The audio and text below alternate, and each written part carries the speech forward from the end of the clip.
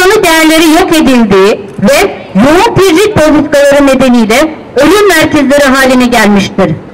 Yüzlerce mahpus veda hakkını kullanmadan hapishanelerde yaşamını yitiriyor.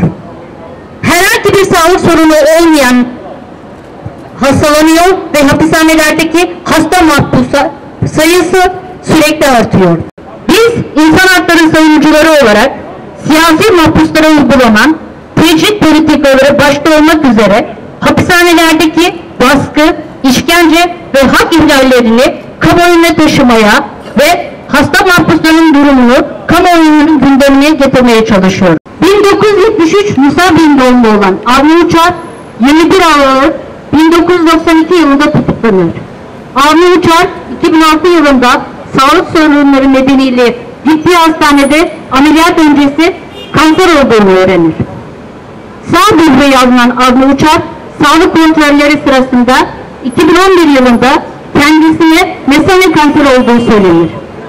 Ayrıca sol böbreğinde 23.6 milimlik çapında kist teşhisi konur. Ceza erteleme yasasından yararlanmak için 2007, 2010, 2012 ve 2013 yıllarında Adli Kurumu'na 4 kez başvurmasına rağmen kendisine red cevabı verilir. Kısa bir süre önce de kendisine sol böbreğinde kanser riskinin yüksek olduğu söylenmiştir. Avni Uçar, müebbet hükümlüsü olup 26 yıldır ülkenin değişik hapishanelerine sürgün edilmiştir.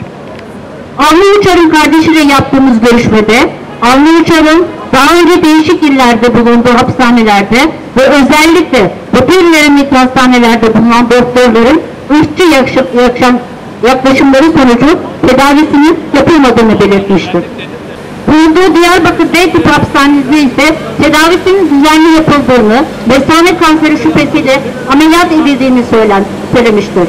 Kardeşi, hapishane koşullarının hasta mahpuslar için uygun olmadığı gibi gerek hapishane yöne- yönetimleri, gerek sağlık personelinin yaklaşımı nedeniyle Uçar'ın sağlığının gittikçe daha kötüleştiğini belirtmiştir.